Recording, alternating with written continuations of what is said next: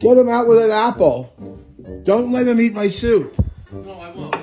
Oh, he's broken glass. It's just ceramic. Ceramics? Well, can we get him out of here, I'm, I'm please? doing that. Albert. He's gonna get stuck in that little cubby here. No, we'll have to, we'll have to get him a, a crane to get him out. Albert, come on, sweetheart, out of the kitchen. Oh my goodness.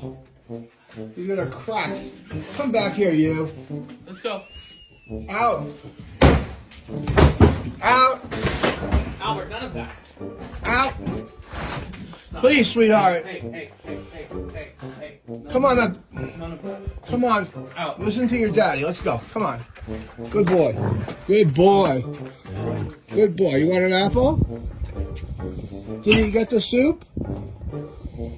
I love you, but you gotta stop doing that. Please. Please.